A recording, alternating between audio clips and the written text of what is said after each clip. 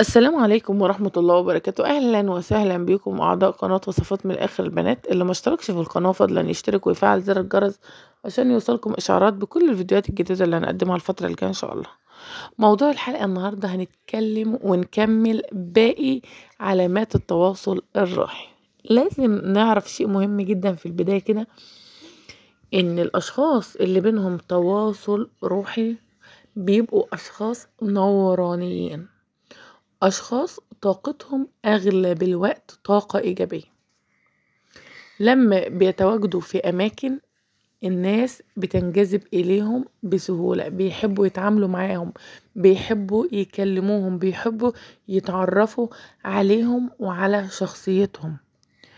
الأشخاص آه، الروحانيين لهم سمات خاصة بتميزهم عن باقي البشر. أهم صفة مميزة ليهم إن هم بيحبوا الحق والعدل. لو شافوا موقف آه، ينقص فيه الحق أو موقف فيه ظالم ومظلوم على طول تلاقيهم بيتكلموا على طول تلاقيهم بي بيعترضوا على طول تلاقيهم بيقفوا في صف المظلوم بيكرهوا الظلم. على طول بيحبوا إن هم يدوا للأشخاص حقهم وينصفوهم وينصروهم حتى لو ده أذاهم. فهم على طول حقانيين حقانيين قوي زيادة عن اللزوم. فهم بيحبوا الحق والعدل. وأي موقف بيحسوا ان فيه ظلم اتعرض عليهم أو أو شافوه آه تلاقوهم بيعترضوا وبيقفوا. وبيصمموا إن هم يدوا للمظلوم حقه على قد ما يقدروا. لازم تعرفوا إن الأشخاص الروحانيين طاقتهم نورانية طاقتهم بتبقى إيجابية معظم الوقت وبتتنقل للأشخاص المحيطين بيهم. والأشخاص المحيطين بيهم بيبقوا عارفين إن في علاقة تواصل روحي بين هذا الشخص وهذا الشخص. الأشخاص حواليهم بيبقوا حاسين وبيبقوا عارفين إن الشخص ده بيحب الشخص ده. حتى لو مرتبطوش مع بعض في علاقة بس المحيطين بيهم الأقارب الأصدقاء بيبقوا حاسين. ما قلتش بيتكلموا لأ بيبقوا حاسين إن الشخصين دول بيحبوا بعض حتى لو مرتبطوش ولما بيرتبطوا في الواقع المادي الأشخاص حواليهم بيقولوا والله إحنا كنا حاسين إن هما بيحبوا بعض. جالهم منين هذا الإحساس؟ جالهم من ترددات الطاقة النورانية القوية اللي كانت بتوصل لهم منهم. ترددات التواصل الروحي ليهم كان بيوصل للأشخاص المحيطين بيهم. علشان كده لاحظوا أو أنتوا بتلاحظوا ساعات وتبقوا حاسين إن في اتنين بيحبوا بعض. أنتوا ما تعرفوش حاجة بس حاسين إن الشخص ده بيحب الإنسانة دي. وفجأة تلاقيهم ارتبطوا وبتبقوا والله وتقولوا والله ده إحنا كنا حاسين والله ده إحنا كنا حاسين إن هما يرتبطوا كنا حاسين إن هو يخطبها كنا حاسين إن هما يتجوزوا كنا حاسين إن في شيء ما بينهم وبيحبوا بعض. جالك منين هذا الإحساس؟ جالك من مشاعر الاتصال الروحي القوية اللي ما بينهم اللي بتتنشر وبتنتقل إلى الأشخاص من حواليهم. الأشخاص الروحانيين بيحبوا الصمت والإنعزال. الصمت بالنسبة لهم هو كل شيء والإنعزال ما بيحبوش الضوضاء بيحبوا ينعزلوا بمفردهم ويفكروا ويتأملوا في خلق ربنا آه لكل المظاهر الموجودة في الكون لكل الظواهر. يحبوا التأمل يحبوا التدبر يحبوا العزلة. من صفات الأشخاص الروحانيين كمان آه بيبقى جابر للخواطر. بيحب يجبر خواطر الناس ويرضيهم بأي طريقة حتى لو على حساب نفسه حتى لو هو اللي هيزعل. لكن يجبر بخاطر إنسان ده شيء كبير وعظيم قوي عنده. جبر الخواطر.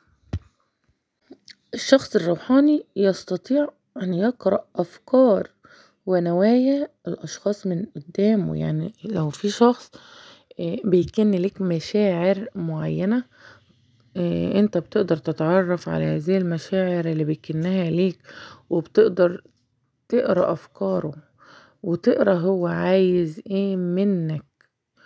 آه، صعب جدا إن انت تخفي مشاعرك وأفكارك عن الشخص الروحاني. الأشخاص الروحانيين بيقدروا يستشعروا إدراكهم الحسي عالي جدا جدا.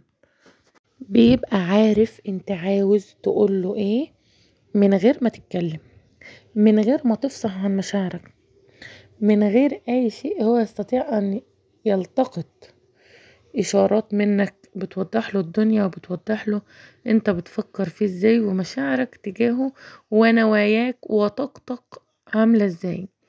بيعرف يميز بين الأشخاص الإيجابيين والسلبيين وبينفر جدا من الأشخاص السلبيين. ما يقدرش يقعد في مكان مع شخص مش قابله مش حبه أو شخص طاقته سلبية. لو قابل شخص طاقته سلبية بيحاول يهرب منه ما بيحاولش يلتقي معاه أصلا.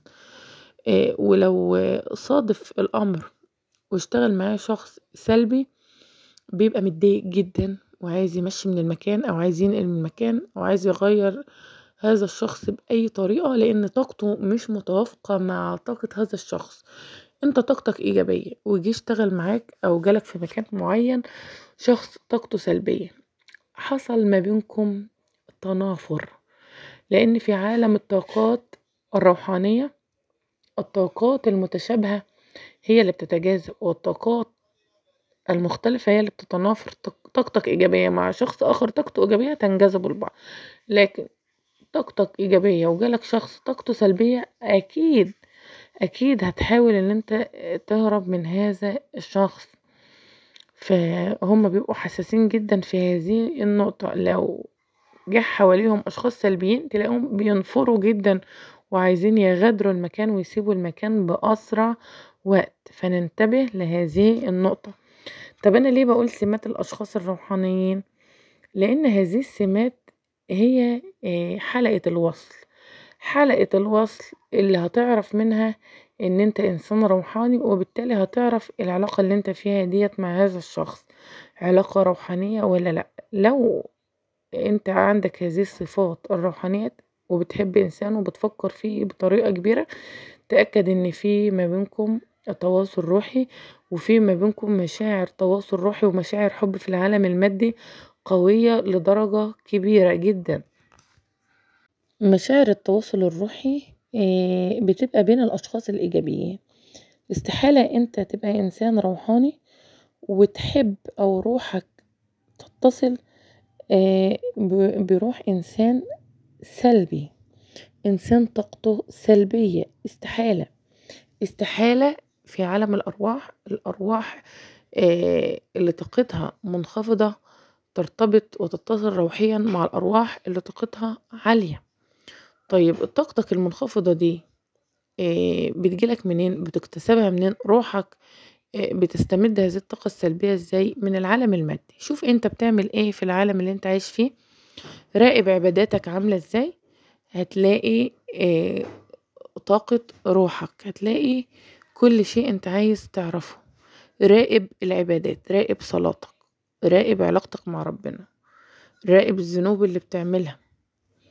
انت هنا بتحمل روحك طاقات سلبية منخفضة.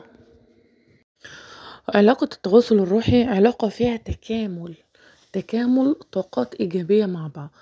طاقتك الإيجابية مع طاقته الإيجابية بيخلقوا حالة من التواصل الروحي حالة نورانية جميلة بين الشخصين.